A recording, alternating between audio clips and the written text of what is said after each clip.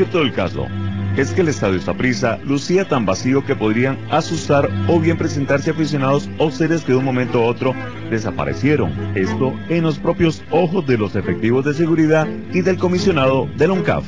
Estando en Gramilla contamos nueve personas. Esta señora era la número nueve.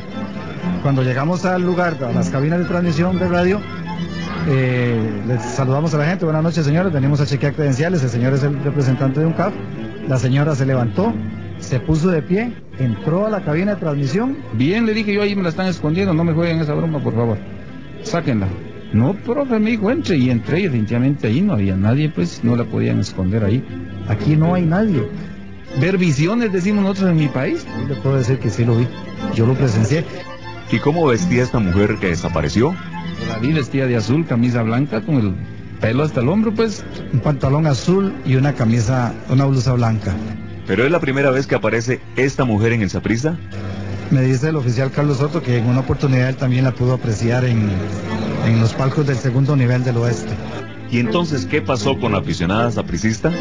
Que esa señora entró a la cabina de transmisión y de un pronto a otro nunca nadie supo nada. Como que se la tragó la tierra.